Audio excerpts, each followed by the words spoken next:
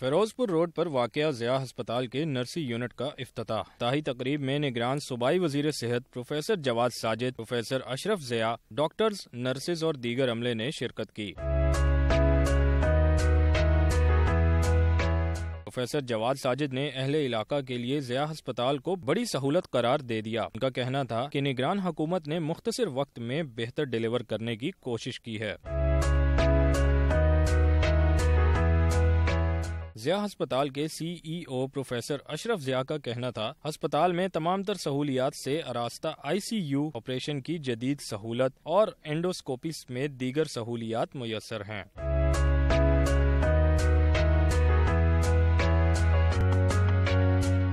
نگران وزیر صحت پنجاب نے مزید کہا کہ پاکستان کا شمار ان ممالک میں ہوتا ہے جہاں پیدائش کے وقت بچوں کو مختلف بیماریاں درپیش ہوتی ہیں۔ کیمرامین فرحان کے ساتھ بلال چودھری، لاہور نیوز۔